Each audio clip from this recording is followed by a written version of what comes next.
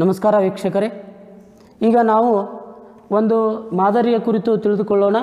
ಇದರ ಹೆಸರು ತ್ರಿಭುಜಪಾದ ಗೋಪುರ. ಈ ಒಂದು ಮಾದರಿಯೇ ಆಲ್ರೆಡಿ ನಮಗೆ ಸಿದ್ಧಪಡಿಸಿದ ಮಾದರಿಯಾಗಿದೆ. ಇದನ್ನು ಯಾವ ರೀತಿ ತಯಾರಿಸ್ಬೋದು ಅನ್ನೋದನ್ನು ತಿಳಿದುಕೊಳ್ಳೋಣ.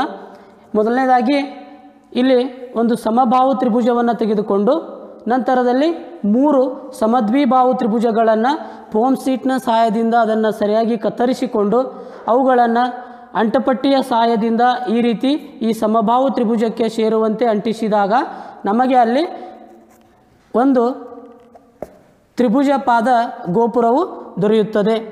ಈ ಒಂದು ತ್ರಿಭುಜಪಾದ ಗೋಪುರದ ಒಂದು ಮಾದರಿಯ ಸಹಾಯದಿಂದ ನಾವು ಅಂಚು, ಶೃಂಗಗಳು ಮತ್ತು ಮುಖಗಳ ಪರಿಕಲ್ಪನೆಯನ್ನು ತಿಳಿದುಕೊಳ್ಳಬಹುದು. ಅದೇ ರೀತಿ ಇದರ ಪಾರ್ಶ್ವ ಮೇಲ್ಮೈ ವಿಸ್ತೀರ್ಣ ಮತ್ತು ಪೂರ್ಣ ಮೇಲ್ಮೈ ವಿಸ್ತೀರ್ಣದ ಒಂದು ಪರಿಕಲ್ಪನೆಯನ್ನು ಕೂಡ ಇಲ್ಲಿ ನಾವು ತಿಳಿದುಕೊಳ್ಬೋದು ಈಗ ಇದರ ಮುಖಗಳ ಬಗ್ಗೆ ಹೇಳೋದಾದರೆ ಒಂದು, ಎರಡು, ಮೂರು, ಇಲ್ಲಿ ನಾಲ್ಕು ಮುಖಗಳು.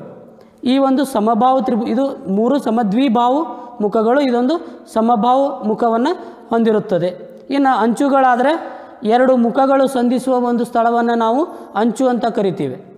ಇವುಗಳನ್ನು ನಾವು ಅಂಚು ಅನ್ನುವ ಪರಿಕಲ್ಪನೆಯನ್ನು ಕೂಡ ಈ ಒಂದು ಮಾದರಿಯ ಸಹಾಯದಿಂದ ನಾವಿಲ್ಲಿ ವ್ಯಕ್ತಪಡಿಸ್ಬೋದು ಅದೇ ರೀತಿ ಶೃಂಗಗಳ ಒಂದು ಪರಿಕಲ್ಪನೆ.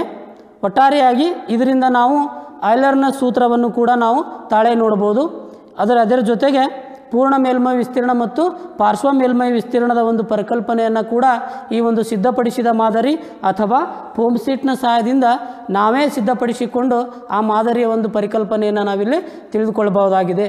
ಈ ಒಂದು ಮಾದರಿಯು ಐದನೇ ತರಗತಿ, ಒಂಬತ್ತನೇ ತರಗತಿ ಮತ್ತು ಹತ್ತನೇ ತರಗತಿಯಲ್ಲಿ ಬರುವ ಅಂಶಗಳನ್ನು ಇಲ್ಲಿ ಕೂಡ ನಾವು ಇದರ ಮೂಲಕ ವಿವರಿಸಬಹುದಾಗಿದೆ. ನಮಸ್ಕಾರ.